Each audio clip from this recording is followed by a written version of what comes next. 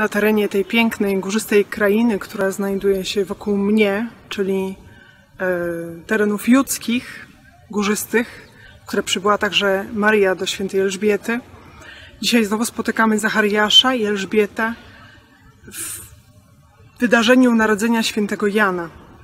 E, dlaczego się zawahałam? Dlatego, że pytanie, czy narodzenie jest tutaj najważniejsze. Najważniejsza jest potem historia Jana, który spotyka się z różnymi ludźmi, który prowadzi do Jezusa, do Mesjasza, zapowiada Mesjasza.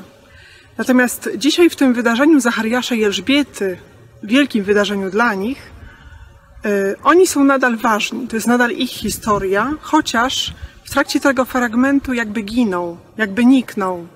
Na początku jeszcze mamy ich imiona i po pewnym czasie słyszymy, pytali jego matkę, pytali jego ojca, nie ma już imion. Są osoby, ale są ze, osoby ze względu na niego, czyli na świętego Jana. Ale te osoby święte, jak wierzymy, oprócz tego, że wypełniły swoją misję wobec Jana, wypełniły jeszcze jedną misję. Misję, która wydaje mi się jest zawsze aktualna dla nas chrześcijan, gdziekolwiek byśmy nie byli.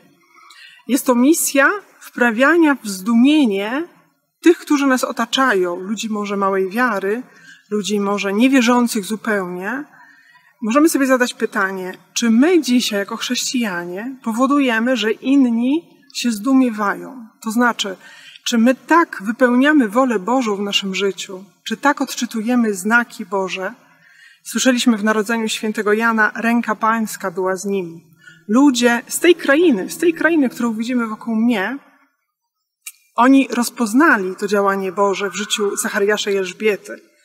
Mało tego, oni to rozpowiadali między sobą, więc ta misja się dalej przeniosła, można powiedzieć, aż do czasów dzisiejszych. Dzisiaj, chociaż w tym momencie tego nie widzimy, tutaj na tym terenie mamy przepiękne dwa kościoły, które wspominają właśnie wydarzenie nawiedzenia świętej Elżbiety i narodzenia świętego Jana. Kościoły, które wskazują na miejsca, o których pamięć przetrwała dwa tysiące lat.